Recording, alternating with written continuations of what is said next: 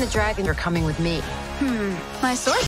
नमस्कार दोस्तों आज हम बात करेंगे पाँच ऐसी एनिमेटेड मूवीज़ की जिसे आप हिंदी लैंग्वेज में देख सकते हैं कि कहानियाँ काफ़ी कमाल की हैं और इसे अपने फैमिली या फ्रेंड के साथ इंजॉय कर सकते हैं।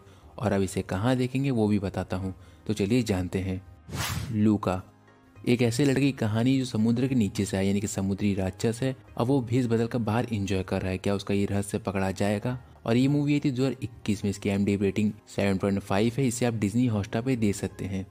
विस ड्रैगन एक गरीब लड़का जो अपने बचपन के फ्रेंड से मिलना चाहता है, उसकी विश पूरी कर विस ड्रैगन क्या वो अपने फ्रेंड से मिल पाएगा? ये मूवी आई थी दो हज़ार इक्कीस में, इसकी एम रेटिंग 7.2 है, इसे आप नेटफ्लिक्स पे दे सकते हैं।